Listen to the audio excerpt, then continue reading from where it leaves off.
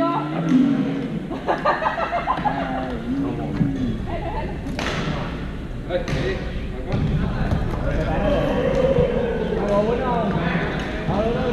hai còn chưa chưa? Hai đứa con nó cần ăn kêu kìa, đâu ăn tứ đi. Dạ.